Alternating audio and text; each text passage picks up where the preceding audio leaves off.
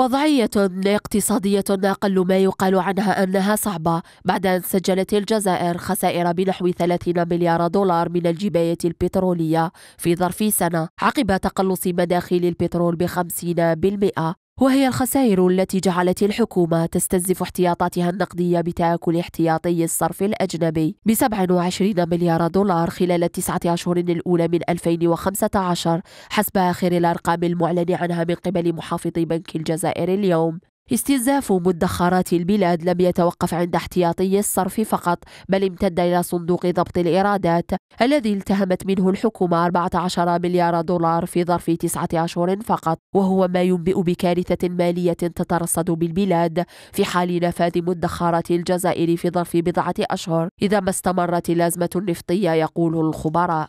وأكيد الأرقام اللي قالها اليوم محافظ البنك يعني هي أرقام صادمة لكن أرقام متوقع حدوثها خاصة نحن نعلم بأن المورد الأساسي اللي تعتمد عليه الحكومة هي الجباية البترولية بالنسبة للميزانية وعائدات البترول بالنسبة لميزان المدفوعات. وأنتم تعلمون جيدا بأن الأساس انخفض وبالتالي هذه تبعات الانخفاض.